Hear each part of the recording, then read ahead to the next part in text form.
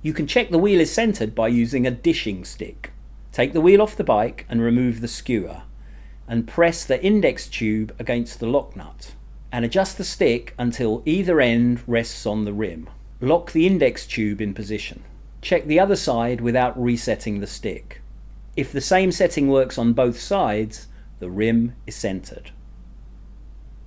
Check the position of the rim using a rim brake or an improvised index. Then remove the wheel. Put the wheel in the other way round.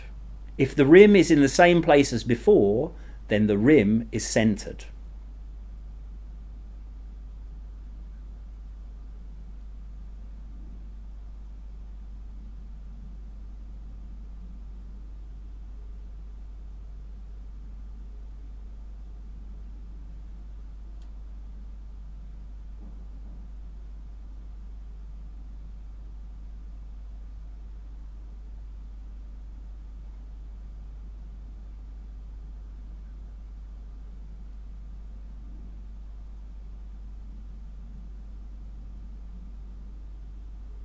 A jig will have indicators to show where the rim is.